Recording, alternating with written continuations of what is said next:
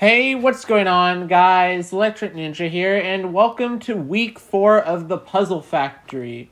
This is a daily series in which your logical reasoning and deductive abilities are tested each day, and the answer is revealed on the next.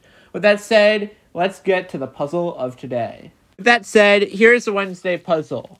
Billy and Candace are in love, but the teacher has decided to randomly assign seats.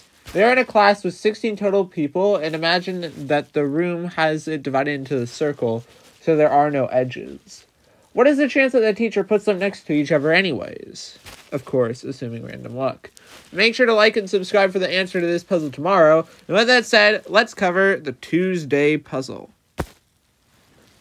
The Tuesday puzzle is a riddle, uh, and yeah, so it's basically a riddle. So let's look at what the clues are in the riddle.